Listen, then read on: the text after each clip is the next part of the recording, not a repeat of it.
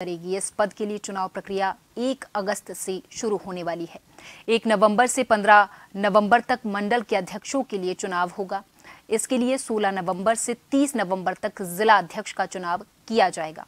BJP के राष्ट्रीय अध्यक्ष जेपी नड्डा का कार्यकाल इसी साल जनवरी में खत्म हो चुका है। लोकसभा चुनाव के लिए जून तक विस्तार दिया गया था। हालाँकि लोकसभा चुनाव के बाद मोदी सरकार के तीसरे कार्यकाल में उन्हें स्वास्थ्य मंत्री बनाया गया है।